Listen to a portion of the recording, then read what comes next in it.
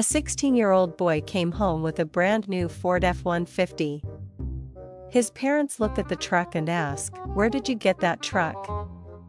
He replies, I bought it today. His mother asks, With what money?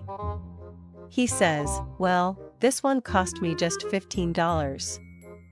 The father looks at him like he's crazy and says, Who would sell a truck like that for $15? The boy replies, It was the lady up the street, I don't know her name, they just moved in.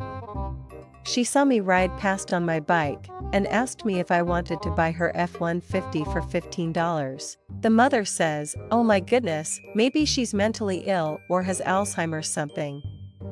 John, you better go see what's going on. So the boy's father walks up the street to the house where the lady lives and finds her out in the yard, calmly planting petunias. He introduces himself and asks to know why she sell the car for $15. She says, Well, two days ago my husband left on a business trip. Yesterday, I got a phone call from his boss and found out that he really ran off to Hawaii with his secretary and doesn't intend to come back. The father says, Oh my goodness, I'm so sorry, but what does that have to do with my son and your truck?